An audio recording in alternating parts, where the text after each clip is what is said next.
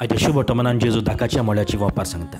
भाटकार वेगवेगळ्या वेळार भायर सोदता आनी वावराड्यांक आपलो कामांक लायता पयलीं आयलेले ते लागीं सरून आपणाक ओदीक मेळटलें म्हूण समजले पूण तांकांय जण एका लागीं एकूच दिनाण मेळ्ळो.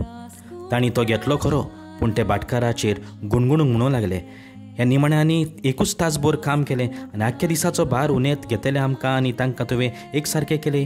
पूण तातल्या एकल्याक जबाब दिवन ताणें सांगलें इश्ट हांवें तुका उणीत करूंक ना. तर एक दिनार घेवंक तुवें म्हजे कडेन कोबलाट केली न्हय तुजें तें घे आनी वच.